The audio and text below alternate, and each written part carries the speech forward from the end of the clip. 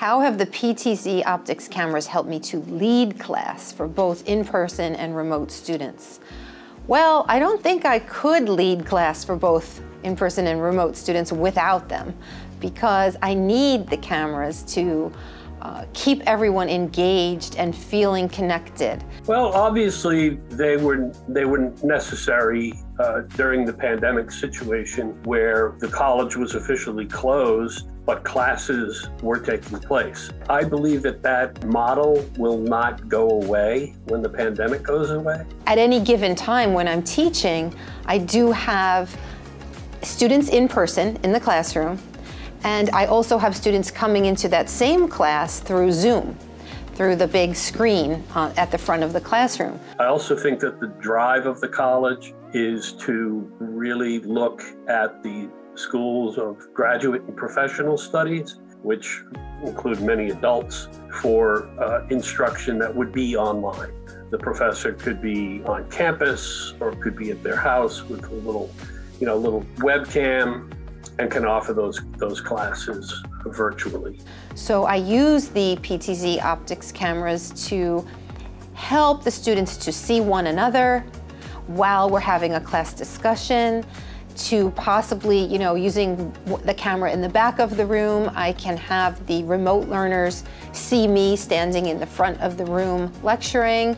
While I think, you know, once we leave the hybrid system with our undergraduate students, I think that there will still be reliance on cams of all kinds, you know, whether it's a huddle cam or a PZ optic or, you know, the little kind of webcam stick on our monitors.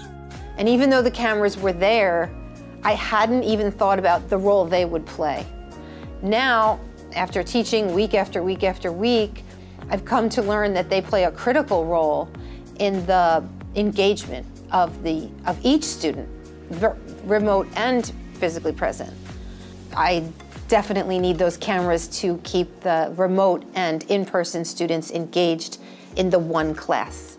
The other thing on my mind is that it offered us in some of our older buildings an opportunity to be in ADA compliance so that if, you know, some of our buildings, very few of our buildings have elevators, having cameras in place enabled me, for example, to, to build a, graphics classroom with Haverford and felt confident that if a student with a challenge or disability could not get to that classroom, I would not have to move that classroom to a lower level or another location. The fact that the student could participate uh, by a conference was, was a big help in getting that project done. What have I learned? I've, I've learned about using these cameras, right? I, I've never done anything like this before.